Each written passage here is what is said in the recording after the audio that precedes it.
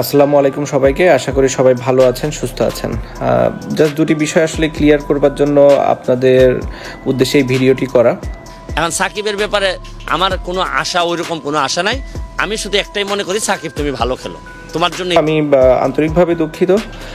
কিন্তু আমার মনে হয় তারও সাবধানতা অবলম্বন করা উচিত ছিল। অবশ্যই খুবই সেনসিটিভ ভুল ত্রুটি হবেই এবং ভুল ত্রুটি নিয়েই আমরা আসলে জীবনে চলাচল করি। আমার কোনো ভুল হয়ে থাকলে অবশ্যই আমি আপনাদের কাছে ক্ষমা প্রার্থনা করছি এবং আপনাদের মনে কষ্ট দিয়ে থাকলে সেজন্য আমি ক্ষমা প্রার্থনা করছি।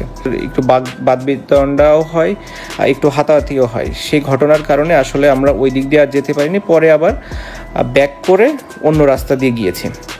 সো পুরো ঘটনাটা ছিল এরকম, যার ভেতরে তিরিশ থেকে চল্লিশ মিনিট আমরা আমাদের যে প্রোগ্রামের জন্য স্টেজ করা হয়েছিল, সেখানে গিয়েছিলাম। অবশ্যই আমি এর জন্য আন্তরিকভাবে দুঃখিত ক্ষমা প্রার্থী এবং আমি মনে করি যে আপনারা এটি ক্ষমা সুন্দর দৃষ্টিতে দেখবেন এবং ভবিষ্যতে আমি এরকম কোনো ঘটনা যেন আর পুনরাবৃত্তি না হয়, সেটিও চেষ্টা করব। আশা করি আমরা সবাই আমাদের জায়গা থেকে দায়িত্বশীল ভূমিকা পালন করব। আমি তারপরেও আবারও ক্ষমা চেয়ে নিচ্ছি আপনাদের সকলের কাছ থেকে এবং আমি চেষ্টা করব নিজের জায়গা থেকে দায়িত্বশীল ভূমিকা পালন করার।